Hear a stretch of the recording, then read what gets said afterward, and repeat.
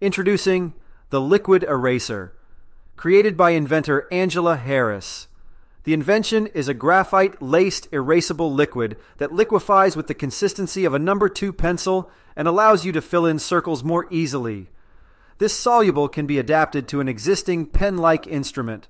With one motion of the dauber, repetitive circling, typically done with a standard pencil, has been eliminated. Circles can now be filled in up to five times faster. When the dauber is applied to a writing surface, it provides for a machine readable pattern. The composition may be erased using a standard pencil eraser and remarked if necessary. The liquid eraser will be ideal for all standardized testing, voting, lottery cards, or anything with a Scantron like application. Ready to learn more?